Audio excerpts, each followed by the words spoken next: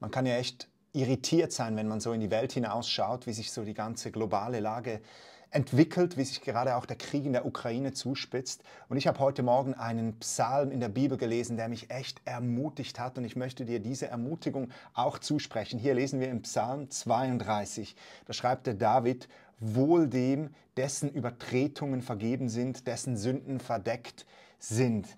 Also da sagt er eigentlich nichts anderes als glücklich kannst du sein, wenn du ein Kind Gottes bist, wenn dir deine Sünden vergeben sind. Und dann ein bisschen weiter unten heißt es, deswegen werden alle Heiligen in der Zeit der Not zu dir beten. Wenn dann große Wasserfluten kommen werden, dann werden diese dich nicht erreichen. Denn du bist mein Schirm, du wirst mich vor Angst behüten, so dass ich errettet ganz fröhlich jubeln kann. Was für ein starker Bibeltext.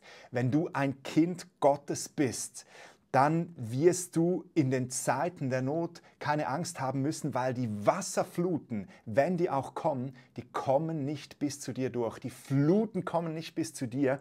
Und dann sagt er hier, du Gott bist mein Schirm. Du wirst mich vor Angst behüten. Wenn diese Angst auf uns kommen will, wenn die auf uns niederregnen will, uns durchtränken, uns nass machen will, dann wird das, diese Angst einfach an diesem Gott abperlen.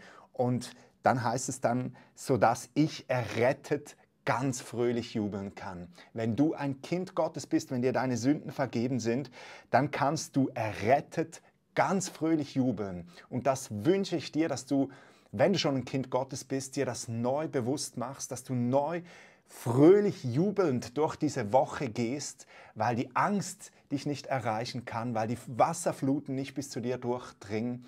Und wenn du noch kein Kind Gottes bist, dann bring dein Leben noch heute mit Gott in Ordnung. Auf meiner Webseite gabrielhessler.com-jesus zeige ich dir, wie das geht.